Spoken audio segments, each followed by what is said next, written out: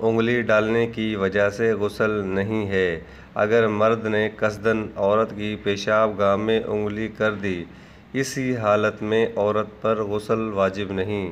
हालत जनाबत में खाना पीना। जमा या इतलाम के बाद गसल करने से पहले खाना पीने की ज़रूरत अगर पेश आए तो वज़ू कर लेना चाहिए। अगर वज़ू का मौका ना हो तो कम अज़ कम हाथ मुँह धोकर कुल्ली करके खाना पीना चाहिए। हाथ मुँह धोने से पहले जम्बी का खाना पीना मकरू है। मर्द और औरत दोनों का एक ही हुक्म है, हाइज़ा के लिए मकरू नहीं।